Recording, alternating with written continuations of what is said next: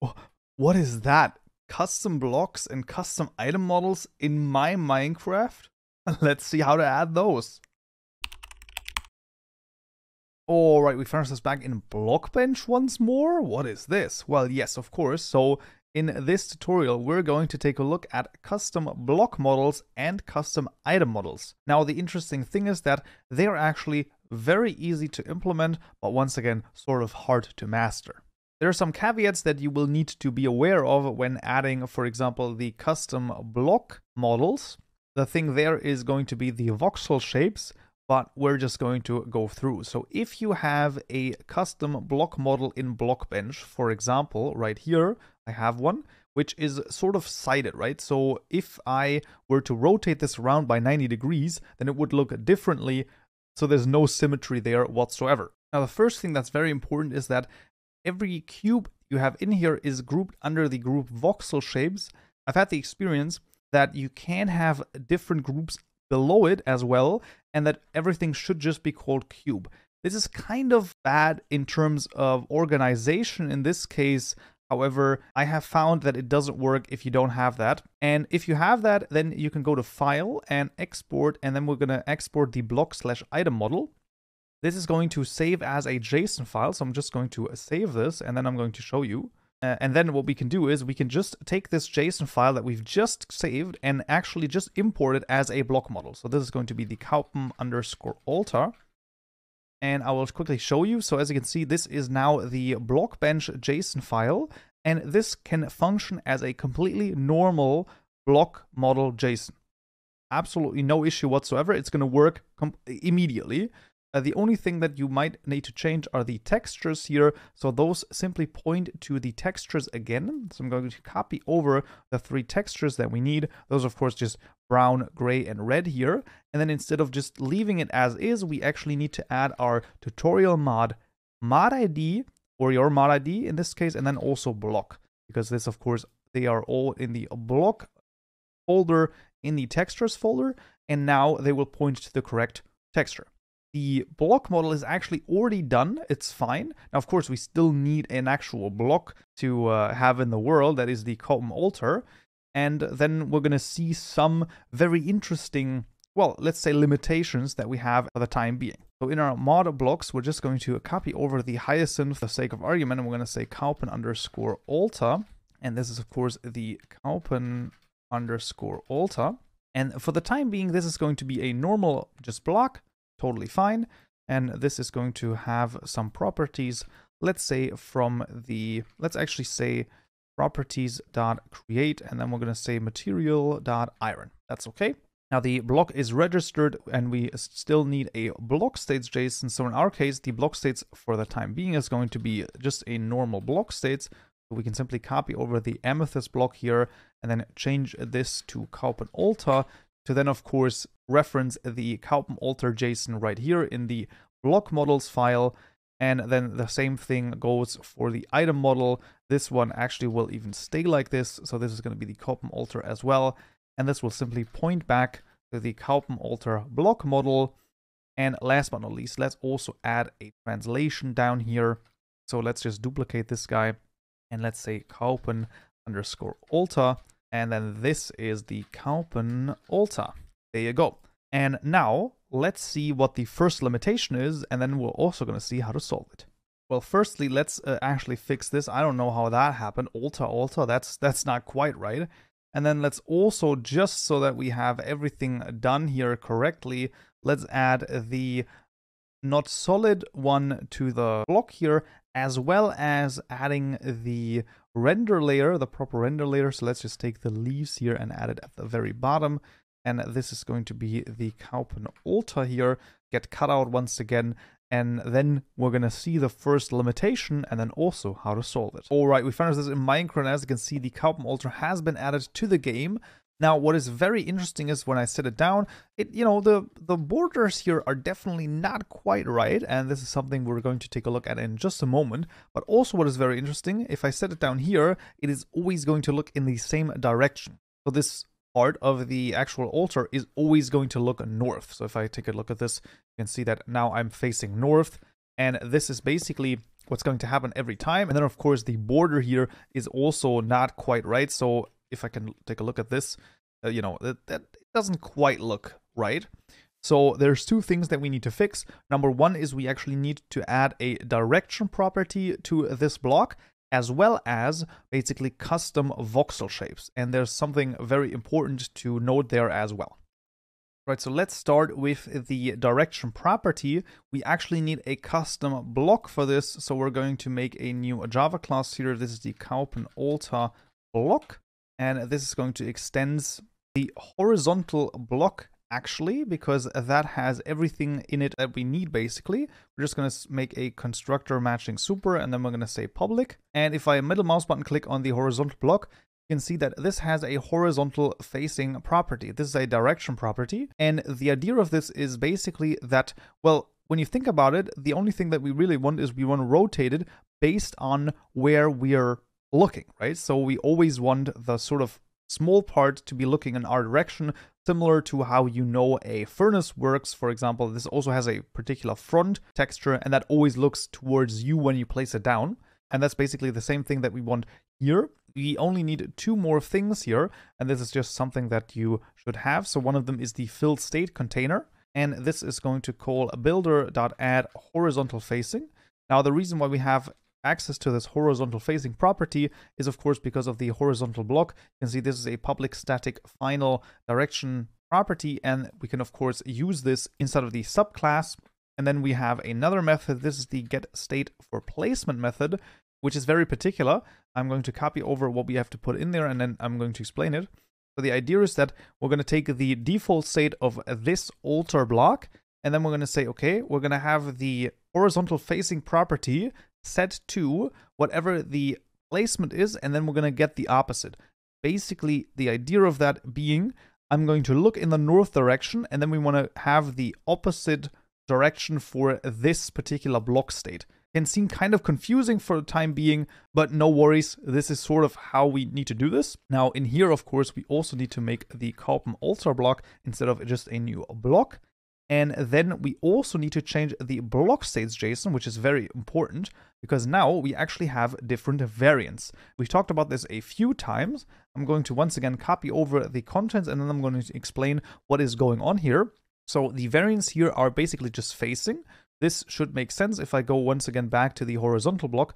This is actually called horizontal facing, but in the back end it is called facing. So we can take a look at the block state properties and then horizontal facing, middle mouse button click, and you can see that the name of the actual direction property is called facing. Therefore, it's going to look at facing.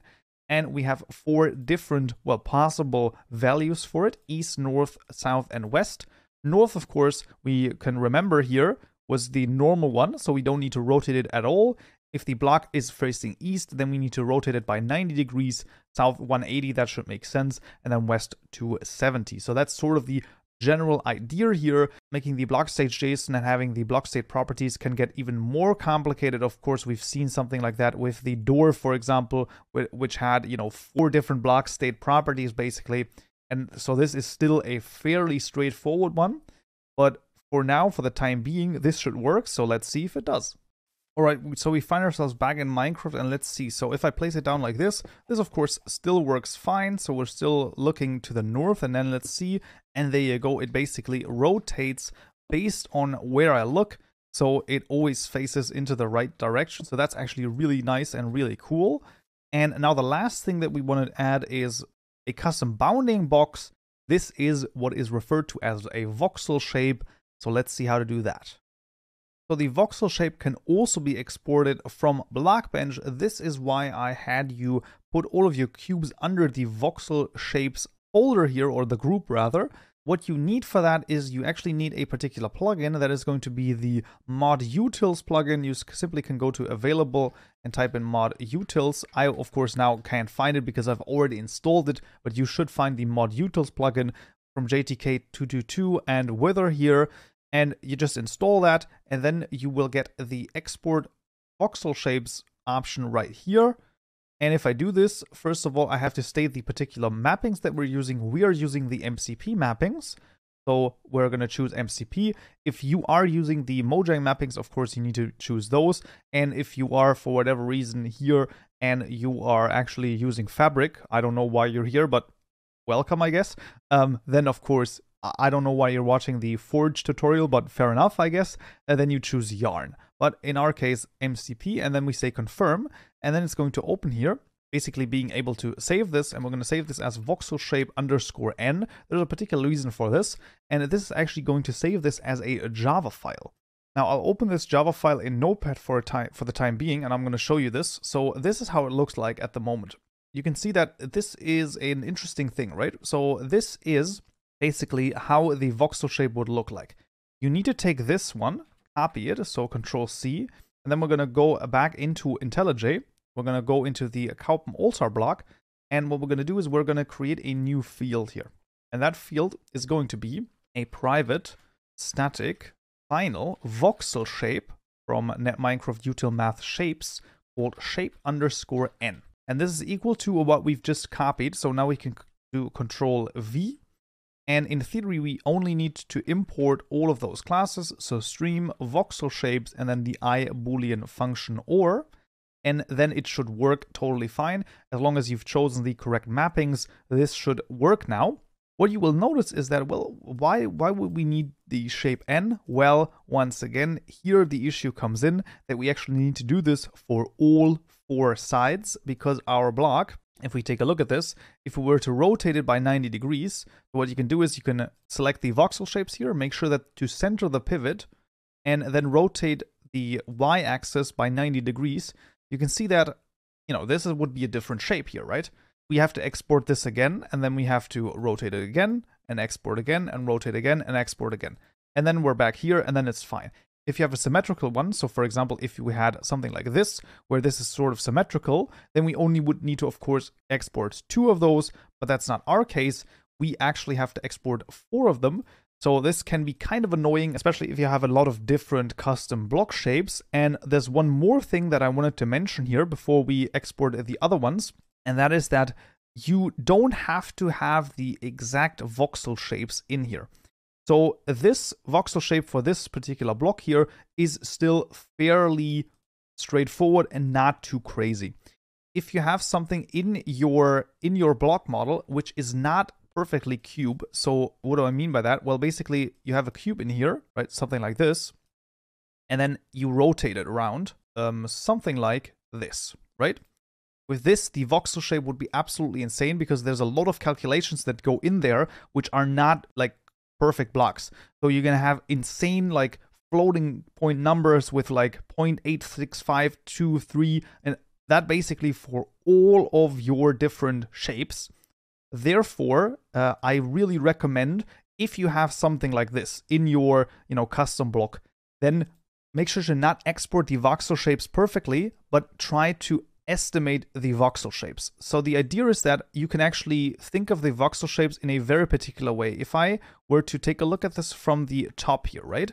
You can actually count from here just for the sake of argument. So 0, 0, this is 0, 0, this is 1, 1, 2, 2, 3, 3, 4, 4. So this starts at 4, 4. And if we actually take a look at the voxel shape again, right, so you can actually count, right? So this would be 0, 0. So this is 0, 0, 1, 1, 2, 2, 3, 3, 4, 4. And this then ends at, we take a look at this. So this is this would be 16, 16.